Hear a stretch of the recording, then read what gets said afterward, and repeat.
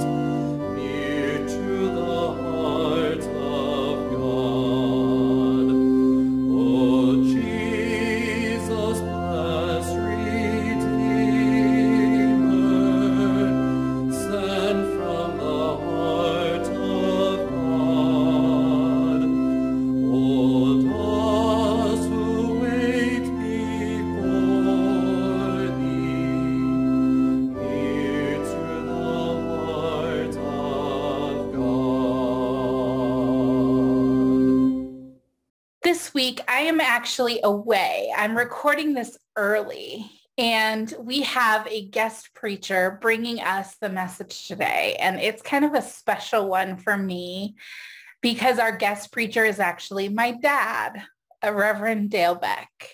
Uh, I'm so grateful to have him filling in today um, and for the chance to share with you um, his message um, this morning. So our scripture today comes from the Gospel of Mark, chapter 4, verses 35 through 41.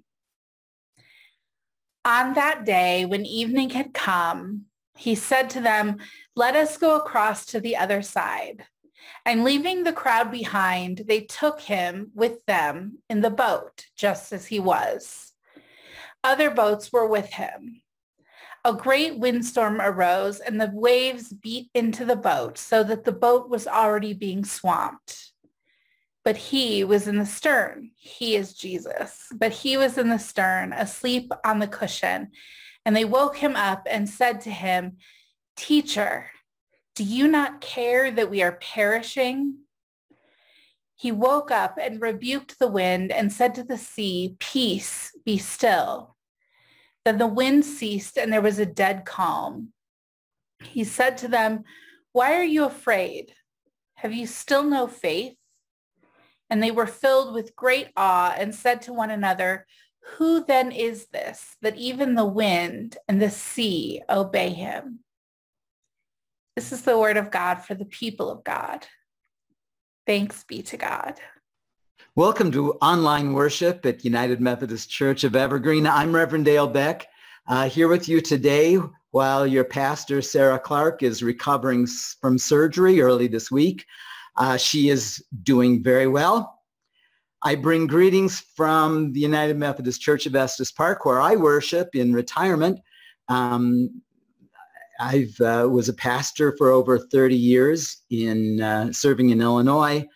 And since retirement and moving to Estes Park, I've, I've served the, uh, the Mountain Sky Conference uh, at five different churches as interims, um, including uh, at Hope United Methodist Church in Greenwood Village, where I worshiped with Stephanie Price, who was your intern at one time and, uh, and, and an associate. Um, I do usually do what Sarah tells me because I am her father. And uh, she um, asked me to be with you today. Shall we pray? And I pray that the words of my mouth and the meditations of all of our hearts would be acceptable in your sight. Lord, our strength and our Redeemer. Amen. We're talking about storms today, and storms in Scripture are always about more than weather. Storms in life, they challenge our faith, they sometimes send us back to faith again. Storms unmask our insufficiencies. They also form the shape and textures of our life together, the way we live and the way we love. In the poetry of Scripture, storms represent chaos, disruption, disaster, disease. Storms threaten our contentment and our routine, sometimes our even existence. And we can't escape storms. The uncontrollable and irresistible forms of disorder are part of our humanness and frailty. We find ourselves always struggling to overcome now, storms come in very individual ways, like the chaos of a diagnosis or a tragic accident, and also in public ways. Uh, we've experienced in the last year those called pandemic and wildfire. The chaos of migration is a part of our world today, but it was very much a part of Jewish memory and scripture. Uh, millions of people today now caught in that chaos of migration in Europe and Africa, South America, and Middle East, even in the U.S. Now, the great Old Testament scholar Walter Brueggemann says that the Bible is a lot more interested in chaos than it is in sin and guilt. Now, sin and guilt has preoccupied Protestant theology, but, but for the long sweep of things, chaos has actually been more what, what the Bible talks about. One of the, one of the most interesting t- treatments of chaos for me in the Hebrew scriptures is in the book of Job. I like it because Job is really arguing against the usual ways of thinking about chaos. Job, of course, faces chaos in some enormous soul-shattering scale. His wife, uh, after he, he's, he's uh, covered with boils, uh, and before all his children die, he says, why don't you just curse God and die? But Job holds on to his faith. His, his friends come and, and to comfort him. Uh, and they hold this worldview that's part of the traditional teaching from the Deuteronomic Code. It says, if you do well, everything will be well with you. When bad things happen to Job, they just, these friends just understood that Job must have done something terrible to offend God. And that wasn't the case. The friends came comforting, but there was no comfort in the, in the code that says that if you do bad, bad things will happen to you. There's no comfort, only harassment for him.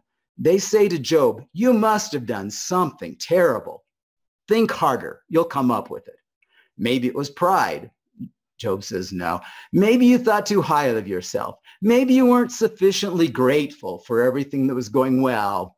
Just over and over trying out the different things that he could have done wrong this book spends a lot of time on their speeches, but it's really arguing that that explanation about chaos is lacking. And Job asks a question, more like the one that the disciples ask in our story about the storm and the boat. Remember, the storm is raging, the boat is about to be swamped, and Jesus is asleep in the stern remember, it's from the stern that the boat is guided. He's sitting on the cushion that should have been occupied by the helmsman who had controlled the boat. They're saying, we can't do anything about it. We're, we're about to be over, overthrown. So the story, you see, is really indeed about God and chaos and God's role in our survival. And the disciples wake Jesus asking the great existential question, which is also the question of Job. They say, do you not care that we are about to die? Do you not care? They asked Jesus. Do you not care that we're about to perish? Does God care? When Mark wrote the book, it was that was a fundamental question for people who followed Jesus, and because they followed Jesus, were cast out of the synagogue, maybe imprisoned as Peter and Paul had been. Do you care, Jesus, that we are perishing, that the storms are very fierce, and the cost of following is very steep? It's a fundamental question for people who would be peacemakers or, or who would have a sense that loving God and neighbor truly is the great work of Christianity and probably is the universal thread that passes through our great spiritual traditions. For us to be able to love others, the very groundwork for that humanizing principle is for a person to know love. Father Richard Rohr calls it the essential precedent to our being able to love. The work of loving others is a harsh discipline or a Herculean task until we have accepted and believed and thoroughly taken it into our hearts and our being that we are accepted, that God loves us, God delights in us, God longs for us and suffers for us and agonizes over our well-being and deeply agonizes over our hearing and sensing deeply that God's love for us has been forever and always. God does not love us when we become baptized we become baptized to affirm and celebrate that God has always loved us. Mark has much more to say on the subject of Jesus and love and discipleship, but it begins with the simple affirmation when wake, the waking Jesus addresses the storm and says, peace, be still. And the storm was calmed. The disciples go away asking, what manner of man is this that even the wind and the seas obey him? Well, there is much more for them to learn about God's love. They know, they learn that God cares. Even the hairs of our head are all counted. Sparrows are sold for two pennies in the market and sparrows fall, but not without God's notice. God cares. The way God cares will be shown when Jesus feeds the hungry crowd, touches the leper, restores life to the widow's son, weeps over Jerusalem, cleanses the temple, prays in the garden, gives them bread, says, this is my body broken for you and for many for the forgiveness of sins, and dies on a cross.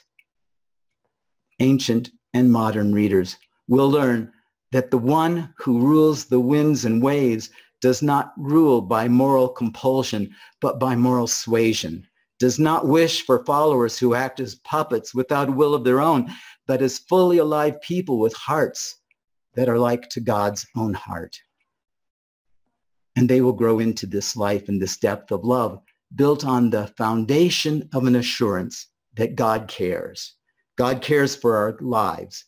God has accepted us and befriended us and accompanies us through the storms of life. That like the trauma and chaos that give shape and contour to the mountains, the storms of our lives will shape and form us, but not destroy us, as disasters in Job's life formed him. When God visited Job and spoke to him, what he says is, gird yourself up like a man and stand and listen. Basically, he says, as Jesus says to the storm, be still and know that I am. I experienced some personal chaos a, a, half dozen years ago or so on a backpacking trip with my wife's brother in the Utah Canyon where I encountered slick rock. Now, those are these huge vertical rock faces in the canyon. I hadn't crossed those before, especially not with a 40 pound pack.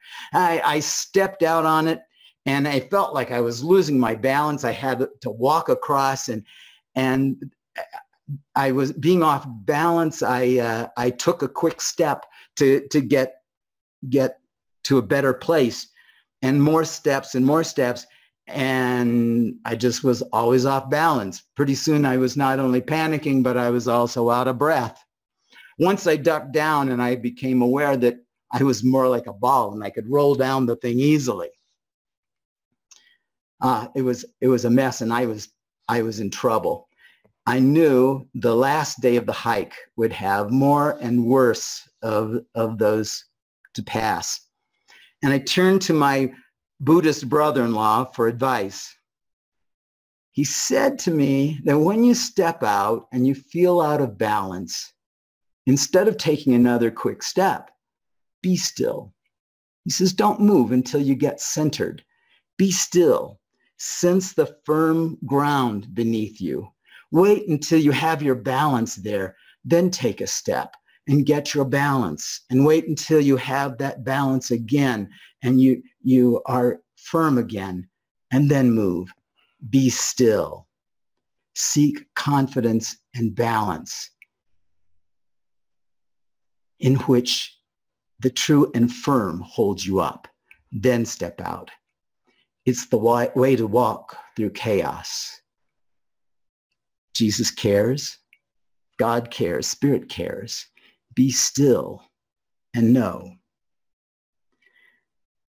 Be still and know that he is God. Be still and know that he is holy. Be still, O restless soul of mine, bow before the Prince of Peace. Let the noise and clamor cease. Be still and know that he is God. Be still and know he is our Father.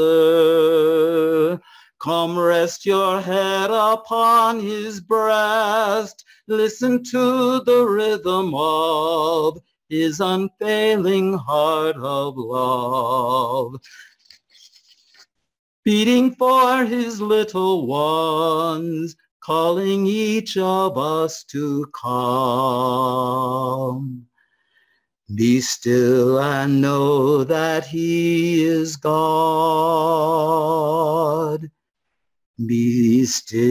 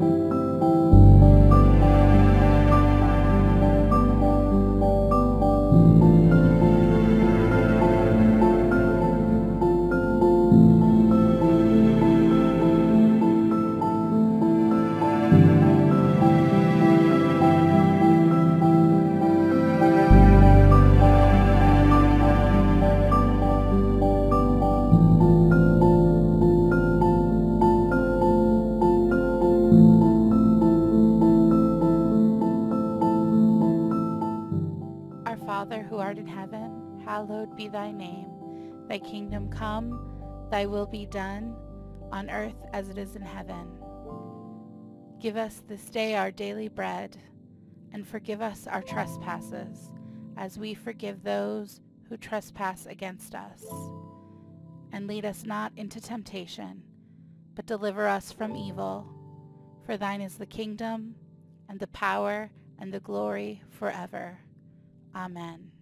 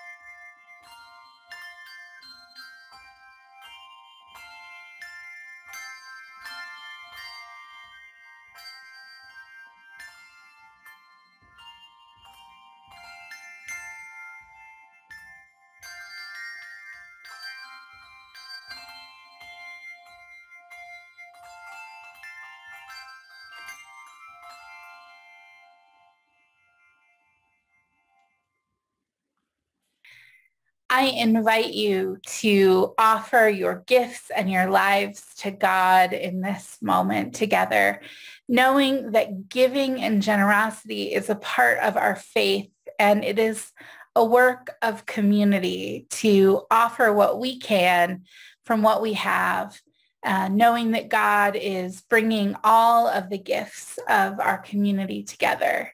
Um, and so in this work of community and faith, we are invited to join.